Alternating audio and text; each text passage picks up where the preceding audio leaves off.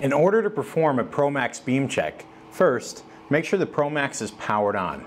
Next, remove the temple supports from the unit by gently pulling at the base.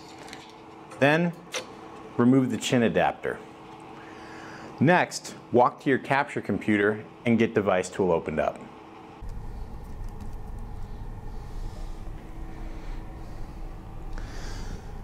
Select Start Calibration. Select your ProMax type from the list shown. Select the sensor that you are using. Then click Next. Make sure that SmartPan is selected and that your Beam Check SmartPan box is checked.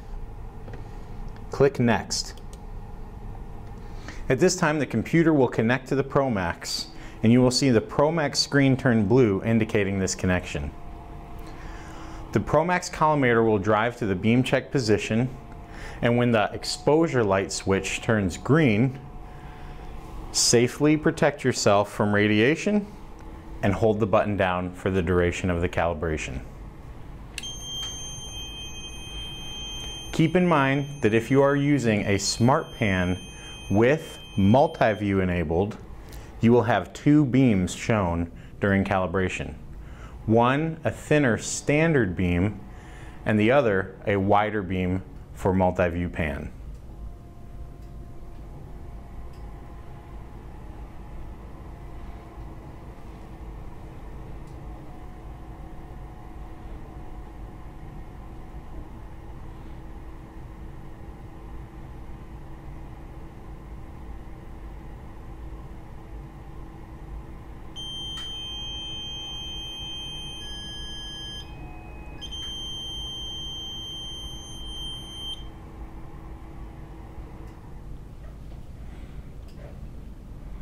Once the exposure is complete, inspect the result on the capture computer.